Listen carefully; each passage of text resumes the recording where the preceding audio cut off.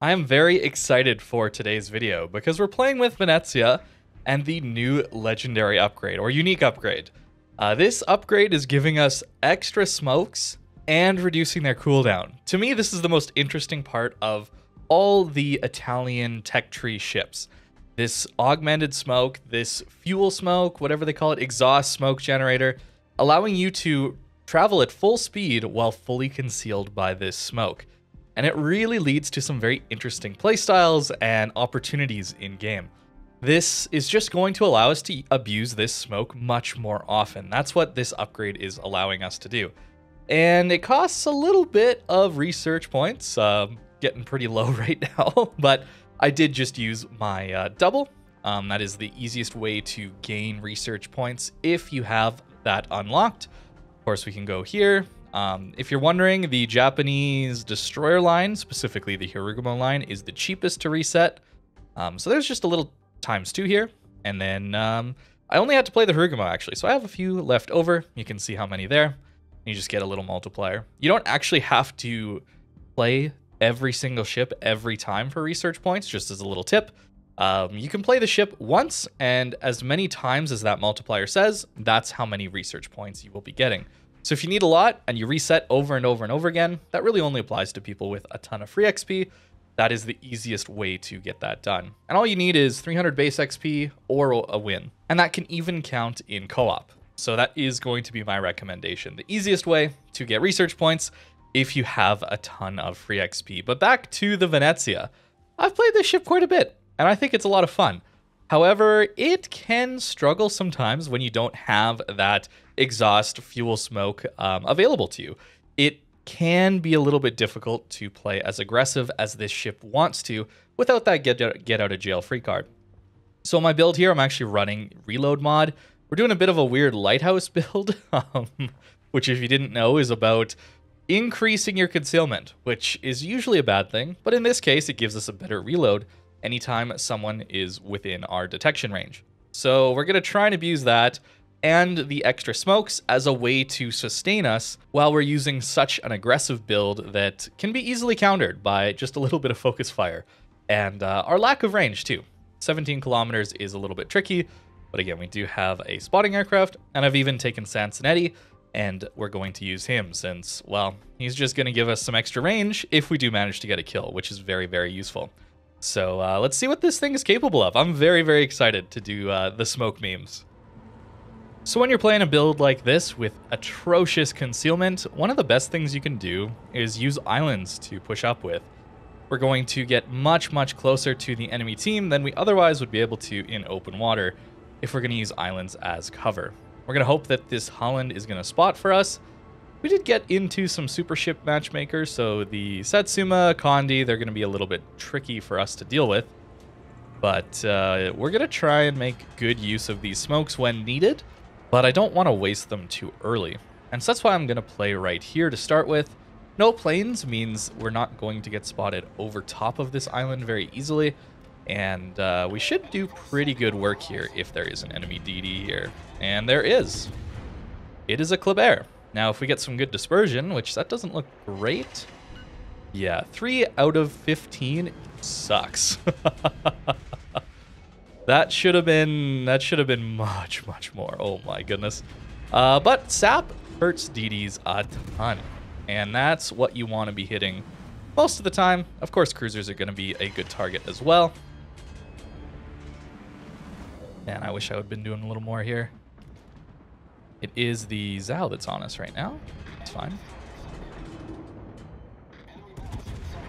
He's going very fast, and he's probably going to turn out there, yeah. Hmm, unfortunate. That's okay. We're forcing him back. That's all right. Take a little pain here from the Kleber. Maybe a bit from the Zao as well. Not a huge deal, honestly. Gonna be border scrubbing, so we'll do that. So, bit of damage taken always important to uh, keep in mind what your smoke fire is, which is 9.9, which means we're fine here. So then we just do this, and we disappear. How lovely is that? We have smokes, not a huge deal, and a Zao. So this is going to be the power here. There we go. See, imagine we hit that on the DD, man. Uh, unfortunate. Maybe we'll try into the Ohio here a little bit, especially if he's slowing down.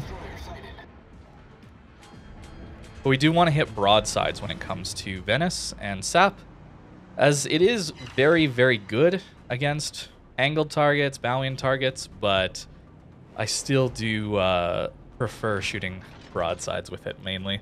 It's a little better than armor piercing when it comes to its pen angles, but it's no HE against bow on ships. You do want to be a little bit careful there. So our smoke is up. Notice we only have a minute to go until we get another one back. But uh, we are going to be retreating here. Since, yeah, I figured the Kleber would be able to spot us here. But we're in a retreating position. Really not too worried about it. However, that is a Soyuz that hasn't been spotted yet, right? Yeah, there's a battleship right there. Spooky. Okay. How he's not been spotted yet. There we go. Wild stuff. Into a Soyuz, German battleships, Russian battleships, you do need to be shooting into the superstructure. That's really the uh, only spot you're going to get good damage in. You can see 9,000 feels pretty nice. Ohio is, uh, well, he's probably not shooting us, actually, if he didn't hit us there. Actually, no, that wasn't us. The maneuverability of this ship is pretty extreme, which is very, very nice in dealing with uh, battleship shots at longer ranges like this. Bow-on Zao, yeah, not the greatest for us. All right. Ohio shot us again, I think. However, 5,000 is still pretty good there. Into a bow-on Zao, that is. You can see how the Ohio, with its really, really slow sluggish shell velocity, is having a tough time with us. It's great. It really feels good playing, uh... Hello? Can I shoot? What? Game? Hello? Oh my goodness, what is going on? Oh, where's our fire? Fire. Uh, what do I bind it to? Control? I guess we're using control to shoot. Okay. Oh no, and then that brings up Windows highlight the mouse position. Oh my goodness. It's all a mess. It's a mess. Why can't the game just work? Why doesn't the game just work? Okay, we've we've uh, kited far too far back. Uh, let's see if we can uh, go undetected here and push up again. And we can. Great. Great. Um, I don't like this. Our Holland is super duper aggressive. Yeah, actually, let me unbind that real quick. Maybe I'll use a mouse button? Yeah. Use a side mouse button. We'll see if that works any better. oh, World of Warships. Yeah. I, I actually... Yeah, okay. Side, side mouse button it is. Um, we're still in a relatively close match here. Uh, cap or ships-wise. But uh, Caps would say otherwise. Let's hope he doesn't have AP. And he's within 9 kilometers, so that means we... Um, Sorry, 9.9 kilometers, which means well we can't use our smoke here to get away. HE still. Yep, our mouse is just bugged out in that corner. Feels bad. 10k, dang. Ship slaps. I'm staying angled though, because I'm worried about that. But also I'm worried about the Ohio, which just shot me.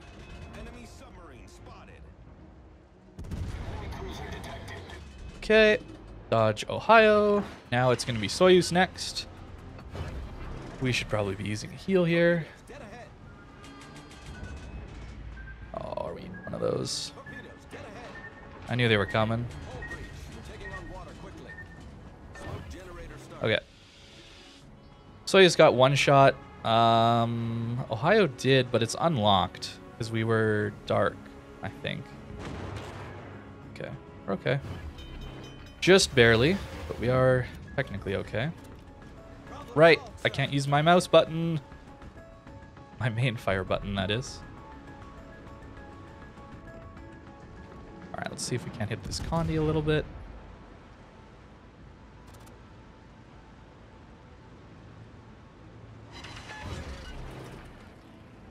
Alright, let's see if we can't find this Zao. Hello, Zao. Go broadside to me. I swapped to AP. Typically, you don't want to be swapping to AP, but... Uh... Oh, come on, plane. But AP can be good against cruisers at closer ranges.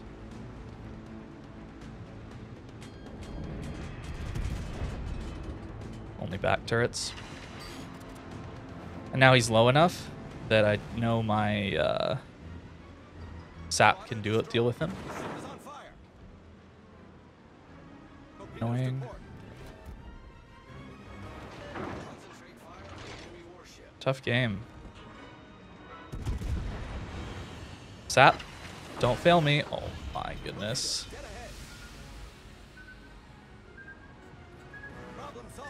Burn, please. Oh, sadness.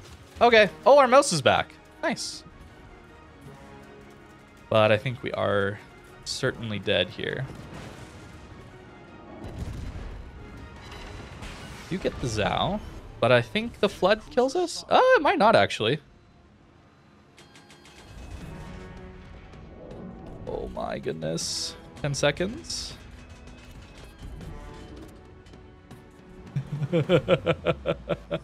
Three. we're still alive. Oh my goodness, we're still alive. That's insane. Okay. We do get this cap, which feels great. And is our mouse working again? Hey, our mouse is working again. Let's go. Oh, wait, I'm grounding here. 10.8, we're still fine to use our smoke fire. Remember, it's 9.9. 25 seconds. Okay. Now we wait. Oh, nice. Good work, team. Torps are back up. We're going to use one set there. Now we're going to try and sneak around this island a little bit. Come on, turning radius. you can see how difficult it can be to play the... Uh... Oh no, smokescreen set. And there's going to be a Soyuz right here. There. Come on, Torps. Go. Two seconds till our heal. How are we alive? Well, we went in and took the cap. Killed some killed some ships. That feels kind of nice. Right there. Oh, we didn't even get lit. That's so nice. 7k? Lovely. Right, we will get spotted now. Ohio can just overmatch us into oblivion. But let's hope he doesn't. Let's fake going one way and then slow down and go the other. Or he just maybe misaimed? He only got one. Nice. So Soyuz is gone.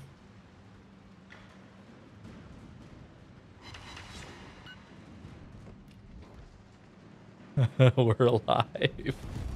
We lived! We lived! Oh my goodness. How hilarious is that? I can't believe it, dude. well, see?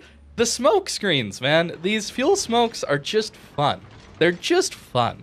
It's so disappointing to me that the um, battleship line and the destroyer line are kind of bad.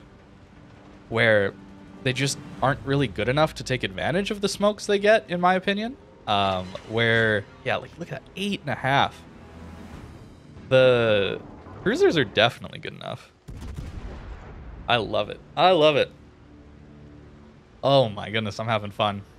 I might have to play this ship a lot more, guys. Because they just, they literally buffed the best thing about the ship, in my, in my opinion. Um, but we might, we might try a different build uh, next game. We might try a little bit more sensible ideas. Maybe not going with... Uh... Look at the SAP damage. Oh, man. I have not played this ship in a while, guys. I'll be honest with you. So it's been a while since I've experienced the joy that is SAP. And the disgusting levels of damage it gives. Another 8,500. My goodness. Yeah, if we had actually hit shells on that poor uh, Kleber early on, oh my goodness, we would have absolutely destroyed him.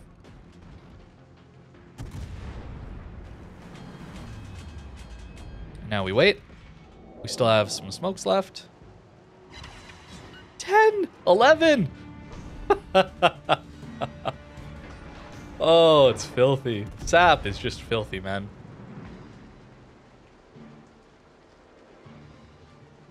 Do we get him? Hey, we even get him. Wow, what a comeback. Kind of? Uh, well, it depends on what you mean. Uh, bugs in the game, I'm pretty dissatisfied that it's an eight-year-old game with these kind of bugs in the game. But uh, I had fun. So you know what? Let's just uh, not engage with that. All right. Yeah, look at... Oh my... Like, we still did 17k to the Kleber, which is good really good. It's just a little disappointing we didn't get that hit off the bat. But uh, reasonable amount tanked, potential damage, it all feels pretty good. So I think reasonable, if you're wondering, does not include heavy HE. I think that's what it really comes down to. 15.8 uh, is difficult to uh, deal with. So reasonable, if you're wondering how to get the most actually out of your smoke, you need to take consumable enhancements here. That's going to increase the time that it's up by another 10%. More consumables on Superintendent, of course. Uh, Adrenaline Rush is amazing. You know, and even with 13.7, Top Grade Gunner is still going to activate a lot of the time. Just not quite as much. And we don't get the 10% damage buff of Heavy HE and SAP, but that's okay. We're a little bit more reasonable in this one. And I think given that we have four points left over, we could even run Survivability Expert, allow us to live just that little bit longer, an incoming fire alert, I mean, one of these two, priority target or incoming fire alert, is always nice to have when you're a cruiser. Uh, it lets you know when someone's taking some cross maps at you or something like that. And in this case, I might even go... I might even go range here, guys. I don't really want to, but hey, sometimes games are just more passive, especially more than what that last one was. Um, the smoke should allow us to get in a little bit closer, of course, but 13.7 uh, is a bit of a downside. If we're talking negatives of this unique upgrade, legendary upgrade, we don't take concealment, which feels kind of bad. Uh, not only is it giving us 10% better detection, which means we get 10% closer to people before they spot us, allows us to help on DD fights at closer ranges, maybe meaning more damage. Uh, the 5% um, worst dispersion of enemy shells fired at us isn't uh, insignificant. It is it is a big deal. So we are missing out on that as well. So we keep keep that in mind. Um, but let's give it a go. 21 seconds kind of sucks for the reload, certainly. Um, but hey, we'll give it a go and uh, try with a little bit more passive build or easier build. Maybe not. That's the way to put it. This is a little easier to play, probably.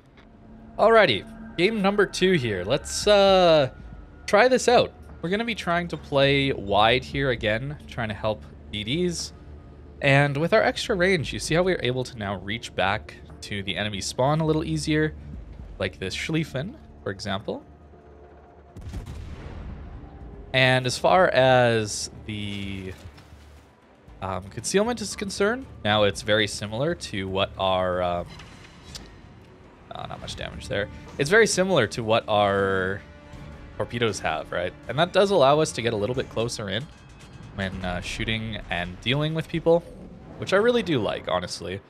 There's this kind of idea of the ratio or the gap between your concealment and your maximum range that kind of dictates how comfortable the ship is to play a lot of the time. It allows you to uh, position a little farther away, a little safer, and still get your salvos on target um, and able to shoot at people. So when you take a full crazy build, like the lighthouse builds tend to be, um, it can be tricky. It certainly can be a little tricky. So for me personally, I tend to enjoy these ones a little more most of the time. Um, of the the lighthouse can work, and we saw it working today, but uh, it's not nearly as consistent. And if you know me, I do value uh, consistency quite a bit in uh, this game. Schlieffen with the full send in early game here. Look at that. Just hit his superstructure and do 9,000 damage. Dang. And then, unfortunately, he has to deal with the sub, which does suck. Um, but that allows us to play a little more aggressive over here. About a 10 second lead time out to that Venezia. Not too bad.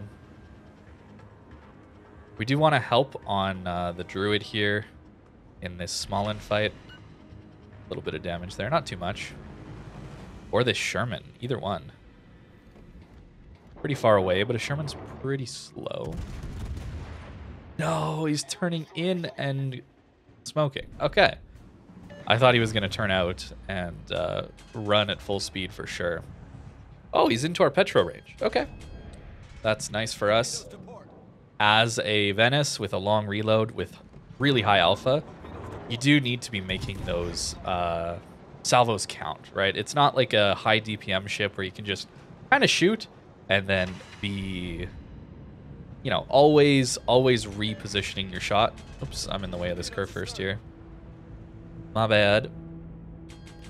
Yeah, there we go. We'll just reverse away. but you see how we hit we hit like a really nice shot into the the uh, Sherman there. And you do need to be making sure you land those because you're unlikely to be getting a follow-up shot. Uh, it's very rare that that's going to happen. You should keep in mind the sub might be up here already. Just as a potential threat to us. It really does look like the enemy team is mostly going to be playing down here. And yeah, they're really running from here. So instead of pushing the enemy spawn, right, we are going to... Wow, that, uh, that Sherman got really low. Unfortunately, we don't have much more into him. But, uh, yeah, we don't want to push spawns. We're going to push over towards... Oops, I hit our our Sherm or our Smolensk. We have a Smolensk on our team. Okay. Oh, we have ship-based depth charges. Lame. Okay, so we're gonna have an almost impossible time dealing with this sub. uh, okay. I don't know what that big sound is, but is that the Kurfürst guns? He's so far away. Anyways, um, I'm gonna push towards mid like I always try to. And we'll see if we run into this druid or this sub. We might need to play around with our smoke screen as a potential way to deal with uh, with a sub. As just a way to break line of sight potentially. We do have a Smolensk here to help us. If we spot him. Right there. Okay. If the druid pops out, well, we're just going to smash him. There he is.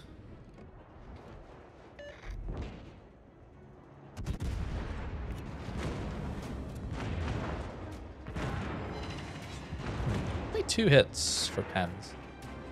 Kind of unfortunate. It's fine, though.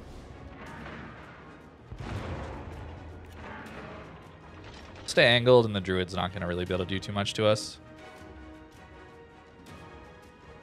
Hindenburg pushing. So this is a situation where we want to uh, kind of crush this druid and then run away, or use our smoke to potentially run away.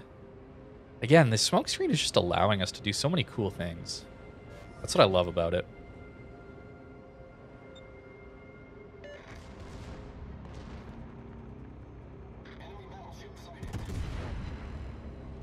Send a blind shot in, and we get him. Let's go. That is very useful. And we're not getting shot at yet. So I think we're okay for now. Venice looks like he's going to turn out slightly. But I think we use it here now. Once we're coming out mid here, we're going to be a very, very juicy target for everyone.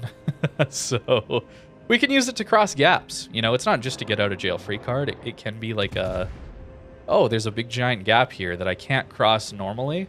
I would just get spotted and killed. Whereas with the smoke, we, uh, yeah, we're allowed to cross gaps like this and totally be fine. Which is wonderful. Looks like a pretty massive blowout, though, so far. Unfortunately. But that's how it goes these days sometimes. Incomp pushing in a little bit. Yeah, we're going to run out of smoke here in a little bit, but that's all right. I do want to push in and try and get as much as we can out of this one.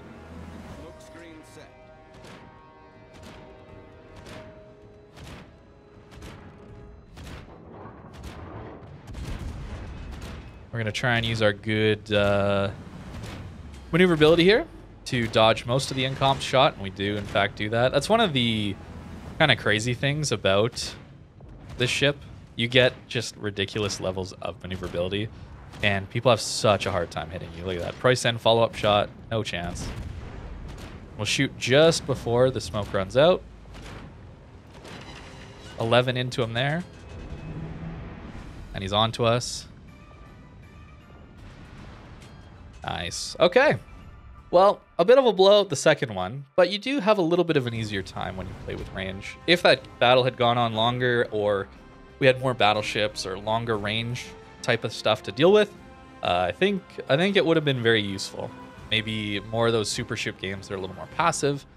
This one, of course, we didn't have to deal with carriers either game, so keep that in mind. Um, the carriers do skew things a little bit more towards the the range build but either one can work. Um, you just do really need the right matchmaker to be able to play that Lighthouse one and do really well. You can play it in, in difficult matchmaker as well, but yeah, it can be tricky into some carrier games like that. But I hope you enjoyed this one. I had a lot of fun already with this uh, unique legendary upgrade. I think I'll have to play with it a bunch more. Uh, but for now, that's going to do it. So thank you very much for watching, and I hope you have a great rest of your day.